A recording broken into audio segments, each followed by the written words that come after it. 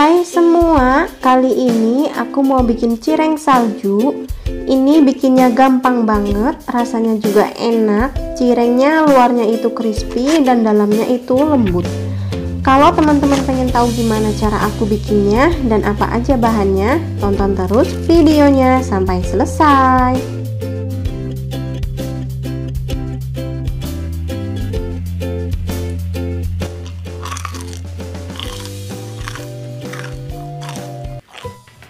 Untuk bahan-bahannya, aku pakai 500 gram tepung tapioka atau tepung kanji, 1 sendok teh kaldu ayam bubuk, 1 sendok teh garam, 2 siung bawang putih yang udah dihaluskan, setengah sendok teh merica bubuk, secukupnya daun bawang, kalau teman-teman nggak mau pakai juga nggak apa-apa ya, dan 400 ml air.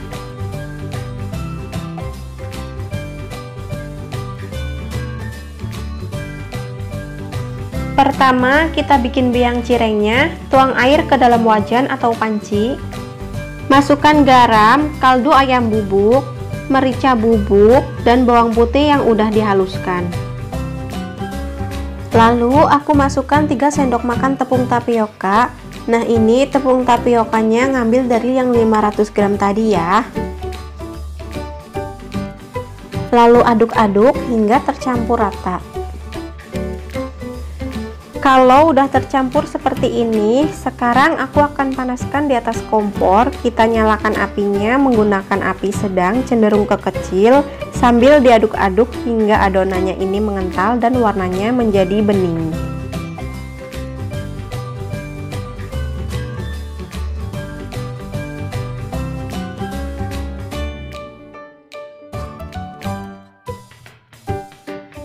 Nah ini adonannya udah mulai mengental terus aja aduk.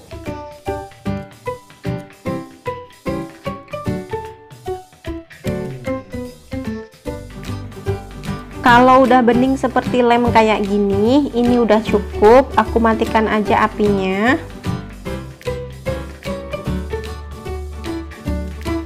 Nah biangnya ini langsung aja aku masukkan ke dalam tepung tapioka masukkan juga daun bawang.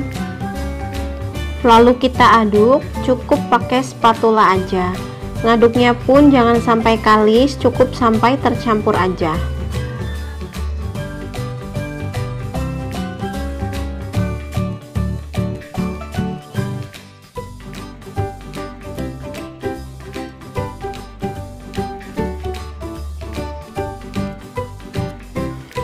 Nah ini ngaduknya udah cukup sampai kayak gini aja ya. Jangan sampai kalis. Sekarang cirengnya mau aku bentuk. Aku bentuk asal aja seperti ini Bentuk bulat. Kalau teman-teman mau bentuk gepeng juga boleh Sesuai selera aja ya. Bentuk semua cirengnya sampai selesai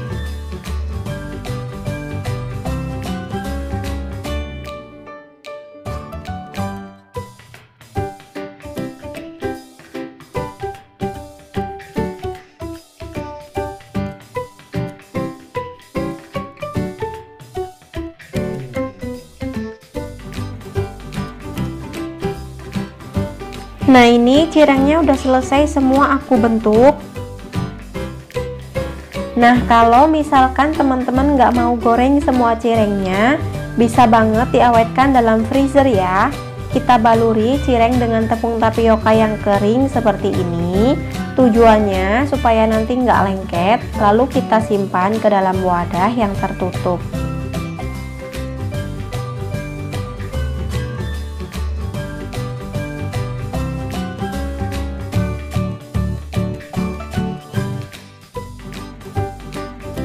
Sekarang cirengnya mau aku goreng. Goreng cirengnya sampai matang ya.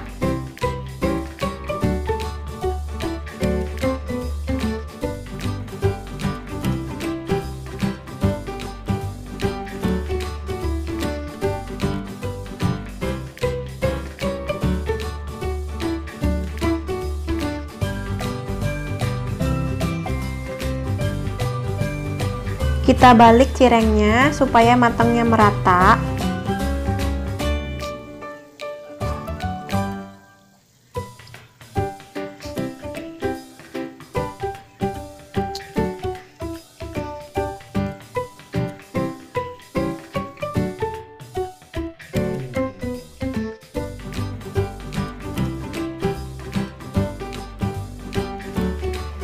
Kalau udah matang seperti ini, aku akan angkat dan tiriskan.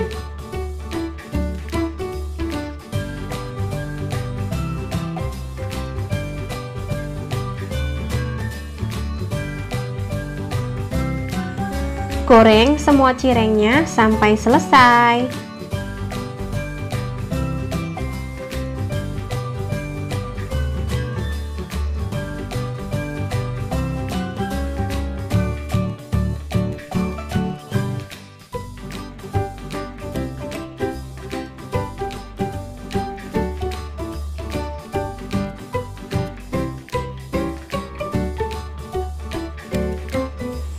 Sekarang aku mau bikin bumbu rujaknya. Di sini aku pakai dua buah cabai keriting merah, 7 buah cabai rawit, satu siung bawang putih, 3 sendok makan air asam jawa, 3 keping gula merah, dan sejumput garam.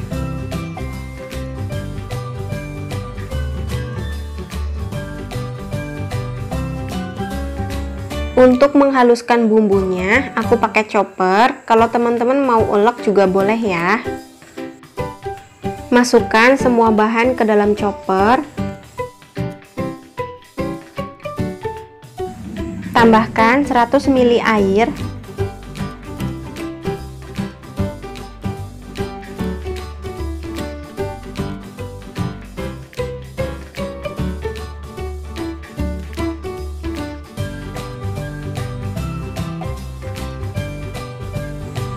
Nah, hasilnya seperti ini. Sekarang aku pindahkan ke mangkok kecil. Bumbu rujak udah siap kita nikmati. Ini tuh rasanya perpaduan antara manis, pedas, dan asem. Seger banget. Nah ini dia cireng saljunya udah jadi Ini luarnya super crispy Dalamnya lembut enak banget Bikin cemilan ini gampang, cepet, rasanya gurih dan juga enak Bumbu rujaknya pun seger banget, cocok buat cocolan cireng salju ini. Semoga teman-teman suka sama video ini, semoga videonya menginspirasi buat teman-teman yang bingung hari ini mau bikin cemilan apa. Jangan lupa like kalau teman-teman suka sama video ini, jangan lupa juga subscribe buat teman-teman yang belum subscribe. Makasih. Wassalamualaikum warahmatullahi wabarakatuh.